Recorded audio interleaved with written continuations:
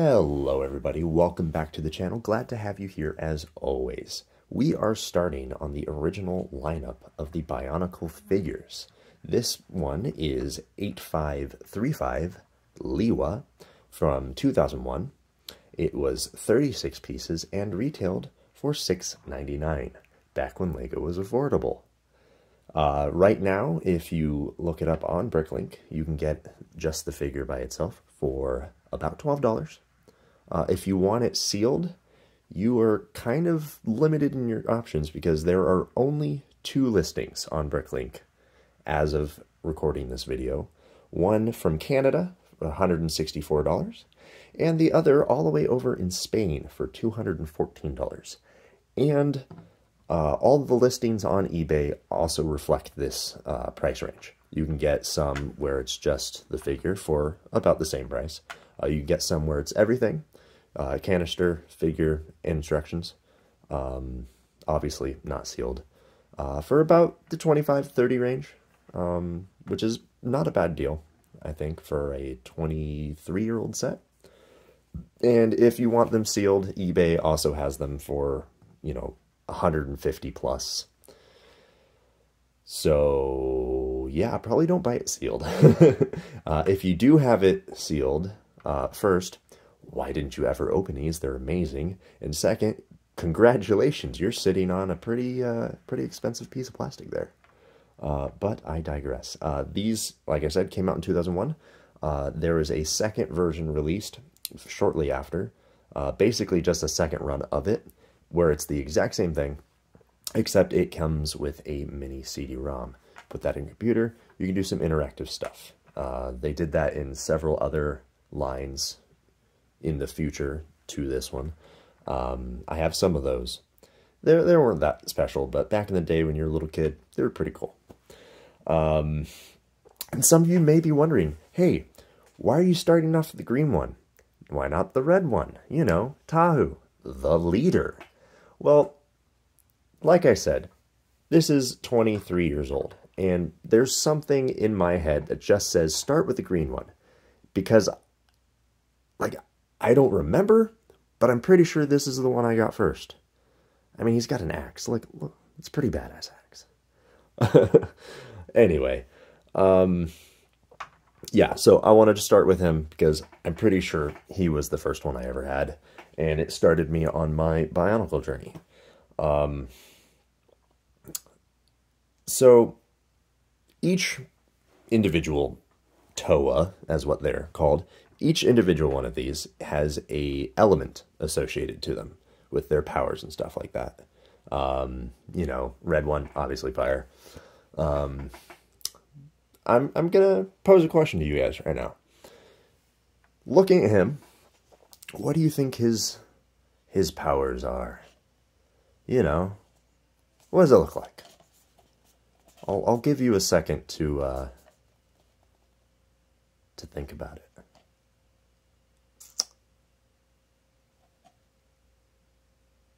You're wrong. It's air. He's the Toa of air. Did you guess that? No? Don't feel bad.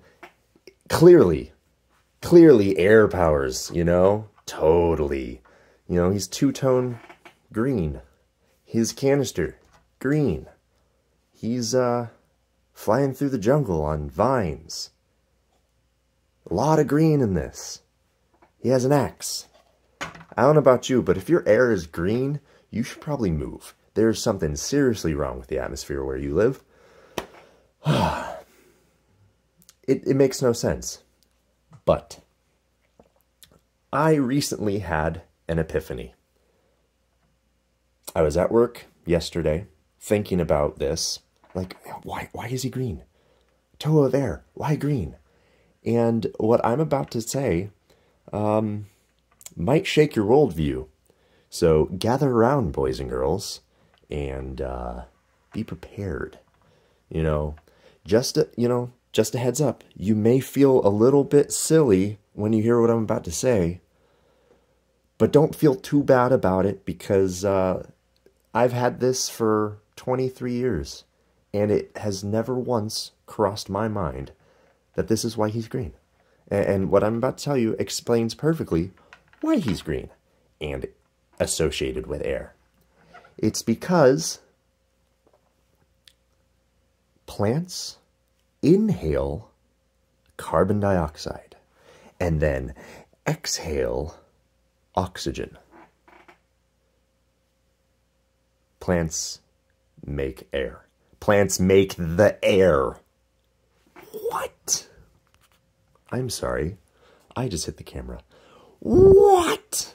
Like, like this is galaxy brain right there. You know? Like we're just little kids drooling, playing with our action figures, sitting on the, our bedroom floors. All the while, the Bionicle design team is sitting off high in their gilded wizard towers, playing 4D chess, waiting for us as a species to evolve to the point where we can take two separate ideas, mash them together into a coherent thought, and achieve some proto sentience that would allow us to withstand this information, to achieve partial enlightenment. And like, I was at work thinking about it, and I was like, oh my God, this makes complete sense. Like, I feel like John Travolta in Phenomenon, where he sees a flash of light, and then suddenly he gets up off the ground, and his intelligence has quadrupled. Uh, it's like some sort of forbidden knowledge. Um, or, you know, it could just be me. I could just be sitting here thinking I'm making some sort of scientific breakthrough for the ages. Uh, but in reality, we, somewhere in our genetic memory, we all knew this, and the collective conscience doesn't uh, talk about it because, oh, it's obvious. Oh, how did this man not know? And that all the time, while I'm over here just being like, I wonder what plants do with their their extra time. I mean, they just sit there. Do they have hobbies? What do they do? But, I mean, 23 years. It never crossed my mind. He's green. It's plant stuff. Because plants make air. They make the air. Yeah. Anyway, let's check out the features of a Bionicle. They are all essentially the same. Use many of the same pieces. They're all very unique back when they came out. Like these are great, like large pieces. They all have karate chop action. And this other arm is sort of just swinging free because he didn't have the gear in there. Uh, they all have these heads. Let's see if we can get like this nice trans clear that clicked into this and it's always kind of a weird looking face. And they each have their individual masks. This guy's got kind of like a kind of like a bird looking one, which, you know, he's the air guy. Um, sweet, badass axe, little fingy thingies, and uh, opposability. Uh, there is one really bad thing about this it, is because these ball joints put a lot of stress on these parts and, you know, pulling them in, pulling them in, pulling them out, putting them back in, you end up with a lot of stress fractures and I think it is this one where the hand is cracked. One of these is horribly cracked, and I don't know. Yeah, that's super loose. Is it this one? Maybe. I'm not entirely sure if it's this one or not, but it may be. But I recently assembled all of my toes and these parts are going to live in this form forever now. I'm never taking these apart again. Um, another really special thing about the Bionicle line is um, obviously they are part of the Technic line. Um, these This is the packaging it came in. You had these seals up here, and it's just a little twist off. You got the uh, instructions in there. And a lot of times you'll find the canisters and they don't have this outer sleeve.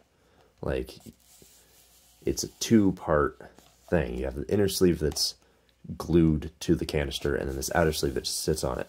And I guess a lot of people take them off for some reason. I, I don't know. Uh, this These products were launched with a lot of um, online stuff. There was a whole website. There was like a little click game. Um, it's a whole bunch of stuff. They were really trying to get people to go, like, do more than just play with the the Lego set. Get involved. Uh, they did. Um, I wonder if that came with a poster. I don't know. Uh, I'm not exactly sure what the the plus is for that. Um, but they had you go on the website and you put in the the code you know for these cans and stuff and the bottoms were all the same so every canister has the exact same bottom um, so all these codes are the same so you go in you do can code 154 and i forget exactly what you get there but it's the secret web code except everybody everybody has access to that code if they just get one of these. Um, down here they have sort of like the little starts here the canister washes up and then opens up and pieces scattered and then you assemble him. Karate chop action! And uh, it was pretty neat. Um, and i read a little while ago that back when these came out lego was having a lot of financial troubles because they were spread way too thin uh, to the point where they had to uh, sell off the legoland uh, all of their theme parks. They had to sell them off, try to regain some finances, and they got a new. Uh, I don't know if he was the CEO, but they had a new head honcho, and he advised them cut a bunch of your products down. Try to streamline it, focus in on a couple things, and um, they kept the Star Wars line, and then they introduced the Bionicles, and the the sales for these went crazy, and basically, Bonks saved Lego back in the early 2000s, late 90s, early 2000s. And I think that's such a wonderful little thing that fans of Bionicle can hold over the rest of the world. like, hey, we you like Lego? You're welcome. anyway, so I mean back then these weren't that expensive. They were six ninety nine. There's a lot of stuff. I mean, not a lot of pieces, but they're big pieces. And you know, it's not just static. It's it's basically an action figure you put together yourself. Um, so this one was actually not six ninety nine. This was six eighty nine. It was uh, down to three forty at one point. I don't know if you can see that. Uh, but at another point, it was clearance for four eighty. So it must have been clearance that time, and then clearanced again. Um, yeah, these are great. They're really, really great. I have all of the original six, and I just kept getting them. Uh, a whole bunch of the like the early um, lines. They don't every now and then they'll do like an, another edition, another oh they powered up, and you know Bionicle is always fun. Um, and going through building all of these, had all the parts. A lot of them are cracked and breaking, and I was like, oh no. Uh, and then yesterday, I went through and did the second line of Toas. And then after that, I realized I have so many extra Toa parts. It's like I don't even remember getting multiples, but I do. And uh, I'll try to figure out something to do with those parts. But I don't have all the pieces necessary. I actually had to scramble around not so much for these parts, but for the next line. I had to scramble around for some that I just don't have very many of. Um, one big thing is the feet like to crack right there. They just snap clean through, and it's, it's very unfortunate. But these guys, they're yeah, they're they're action figures. They're they're real cool, unique looking things, and uh, I'm just a really big fan of them. Uh, not so much now, but back when I was 10 years old, these were these were all the rage, man. Anyway, we're to keep doing these and I'll see you in the next one. Toodles.